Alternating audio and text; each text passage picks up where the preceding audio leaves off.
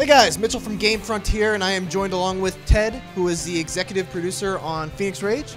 And so I just got done playing it. We did a James Roast Games, which you should see soon, hopefully. And uh, yeah, just why don't you give us the general gist of what Fenix Rage is all about? Fenix Rage is just a kick you in the face puzzle platformer. Think Sonic meets Super Meat Boy, elements of Kirby. It's it's an homage to all those games that I grew up loving on the, the NES and SNES days that before there was save files, before there was easy difficulty. Th- th- this game doesn't have difficulties, and you don't need them. It's interesting because the reason why I'm doing this interview is because James just got finished playing and he literally has a bruise on his eye because he got kicked in the face by Fenix Rage. Uh, so, uh, one of the things that struck me about the game uh, is it, it feels very, very precise. It, it, it kind of brings back memories of Super, uh, Super Meat Boy. Can you talk a little bit about how important uh, very precise controls were, were in a game like this? Yeah, I mean, the main thing is that with a game like this, you want, if it's going to be punishingly hard, we want to make sure that it's fair, though. So the developers took time, they, before any graphics, before all the, the pretty colors and everything, they worked really hard on getting the controls as tight and as just fine-tuned as possible. All the hitboxes and the detection of that, so that when you die, and you're going to die a lot, it's your fault. It's yeah. You can't blame the game. You can't blame the controller. You can't blame your sister, your brother.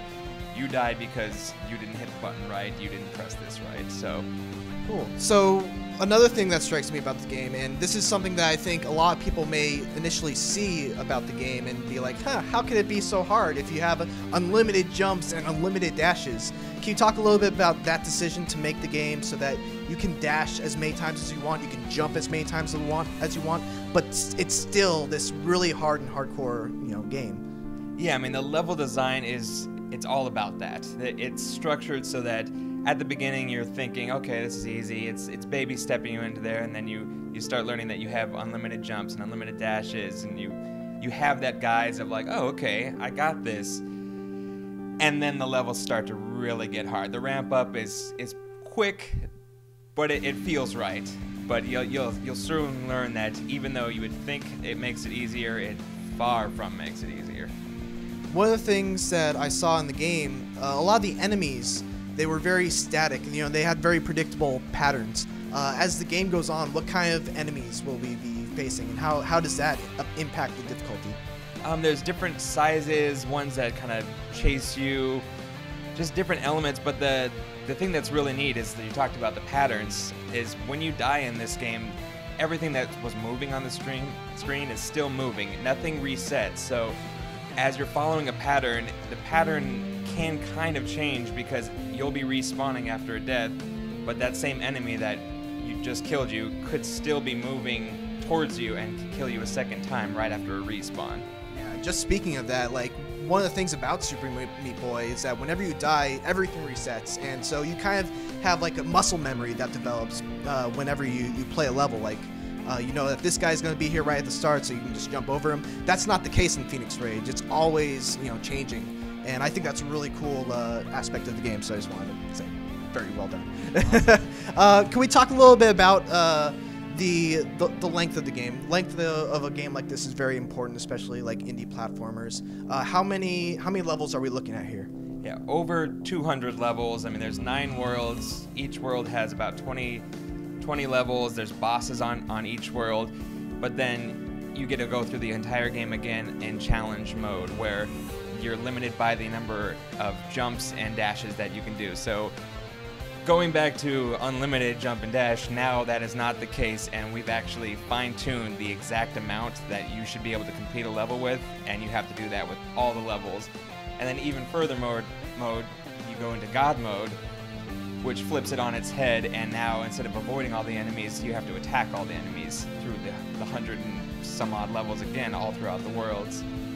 And then there's more stuff on top of that. Um, one of the things that you're going to find is there's hidden levels where if you go through a certain portal in a right amount of time, you'll actually get to see a glimpse of the original prototype levels, which is really gives you a, a look at the kind of the development process of how they made Fenix Rage. And you there's also uh, collectible cookies in each level. Can you talk a little bit about uh, what's in it for people if they find all those cookies?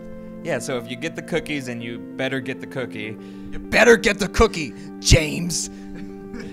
you actually unlock real world cookie recipes. Um, one of the developer's sister, she's an excellent baker, and she created um, world specific cookies from her own brain, and they are delicious. You get the recipes, every step to make them, so you can take the cookies from the game and bring them into the real world and put them in your belly. So there you go, Fenix Rage not only doubling as a indie uh, indie platformer, but also as a cookie cookbook. So you don't even have to go buy those anymore. Uh, is there anything else that you want to add in terms of when's when's this coming out? What platforms?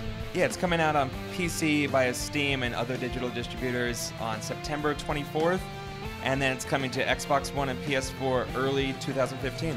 And then I have to ask one more question for my buddy over there. He wants to know about the bird.